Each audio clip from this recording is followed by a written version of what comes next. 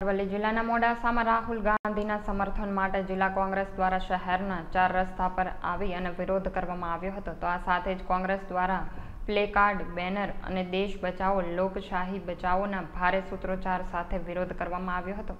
આ સમગ્ર વિરોધ રાહુલ ગાંધીને માનહાનિના કેસમાં બે વર્ષની સજા થતાં જ સાંસદ સભ્યનું પદ રદ કરવામાં આવ્યું હોવાથી આ વીડિયો તેમજ તમામે વિરોધ નોંધાવ્યો હતો તેમજ વિરોધ કરી રહેલા કોંગ્રેસના અગ્રણીઓ, દસ જેટલા હોદ્દેદારો અને કાર્યકર્તાઓની ટાઉન પોલીસ દ્વારા અટકાયત કરી તેમજ પોલીસ સ્ટેશને લઈ જવાયા હતા.